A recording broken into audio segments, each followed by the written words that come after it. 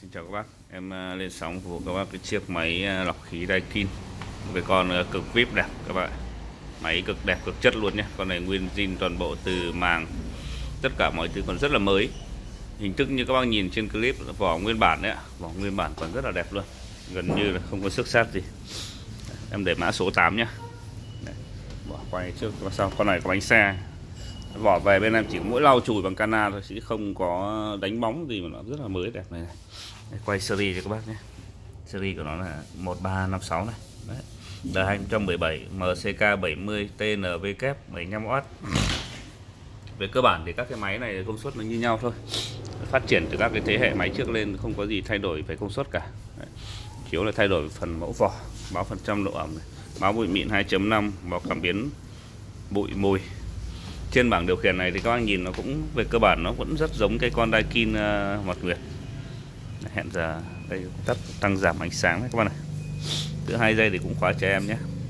Hẹn giờ. Hẹn giờ bật eco tắt bật nguồn.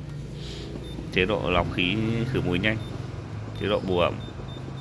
Chế độ lọc khí các tốc độ lọc một cái chế độ ờ, chạy tự động của máy. Con này đầu biến áp điện 220V rồi nhé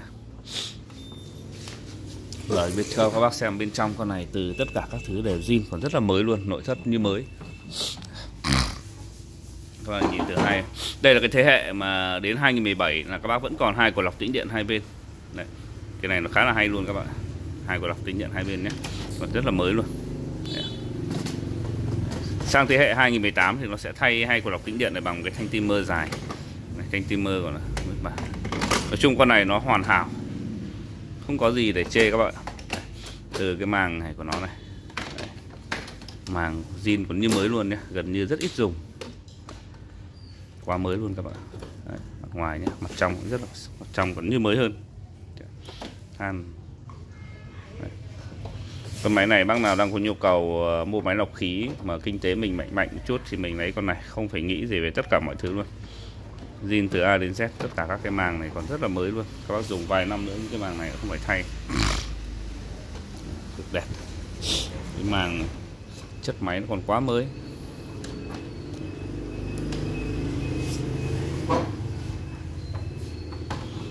Đây, Kim MCK70 em hay gọi chung là MCK70 nhưng mà. Thực ra thì tên nó giống nhau hết. Cứ gọi bên này là bình nước bù ẩm qua mấy năm nay thời tiết rất là hanh khô độ ẩm toàn ba, bốn mươi phần trăm thôi. Các bác đổ nước vào bình này nhá. Như mới luôn.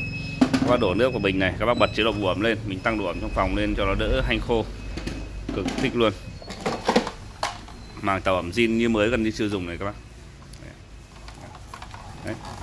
con này không nói phép chứ, con này bác nào mà đang có nhu cầu mua được gặp con này thì chốt luôn ạ giá thành cũng rất hợp lý nhé em bán chiếc này là 4 triệu ba, bảo hành một năm, chưa phí vận chuyển. Các bác ở xa mua thì hình thức bán bên em đặt cọc trước 500 nhận hàng, kiểm tra đúng hàng, thanh toán nốt ạ. Cực mới, cực đẹp luôn. Ba phần trăm độ ẩm, hôm nay độ ẩm cũng là tăng lên so với mấy hôm rồi đấy ạ. Mấy hôm trước độ ẩm rất là thấp. Khá là khô. Độ ẩm rất là chính xác quá nhé em nhìn cái đồng hồ báo độ ẩm kia hôm nay đã tăng độ ẩm lên 70 phần trăm rồi. 69 trăm, chuẩn đét luôn chào các bác nhé.